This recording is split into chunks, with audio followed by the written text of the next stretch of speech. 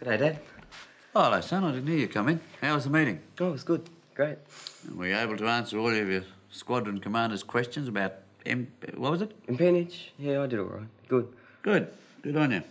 You missed a bit of drama here, you know. Yeah, yeah, Kitty was saying. Um, Dad? Yeah? Oh, I see you've been reading about the new Junkers. Have I?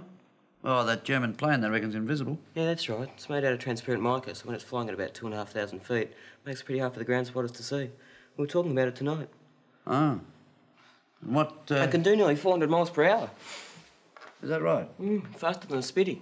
Is it? Yep. Do you know how fast a tiger moth goes? Tiger moth? How fast it goes? Only 70 miles per hour, flat out. Really? Mm, that's all.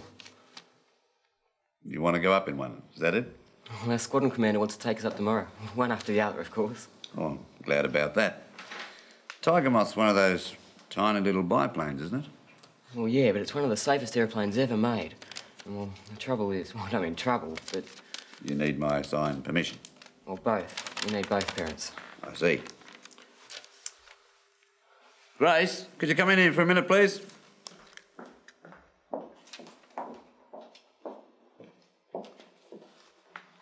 Well, you tell her, Dad.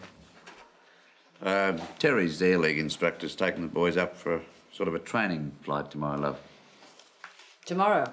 Well, he's a fully qualified, very experienced pilot, Mum, and we're not going to be allowed to touch the joystick or anything. It's just so we can see what flying's like, that's all.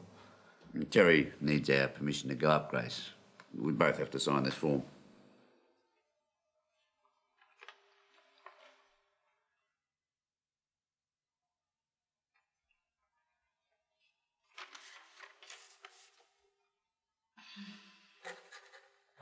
Wow, thanks, Mum.